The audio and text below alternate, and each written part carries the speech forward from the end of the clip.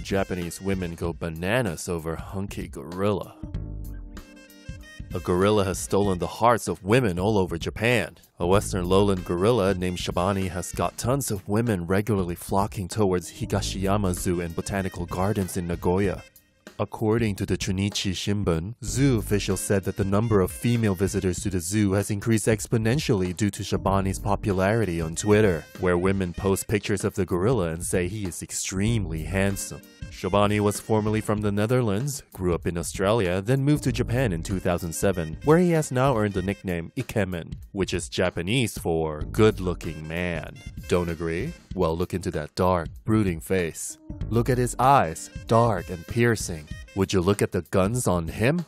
Step aside, Donkey Kong. Now we have Hunky Kong. And this one does not need to kidnap princesses. They go to him willingly.